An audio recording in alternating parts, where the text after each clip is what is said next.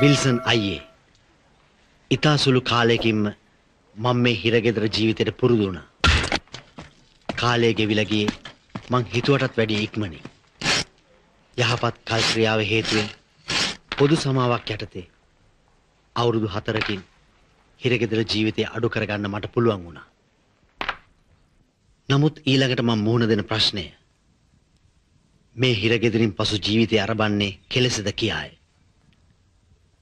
මගේ අම්මාත් තාත්තාත් රිය අනතුරකින් මියගියේ මා කුඩා කාලයේදීමයි.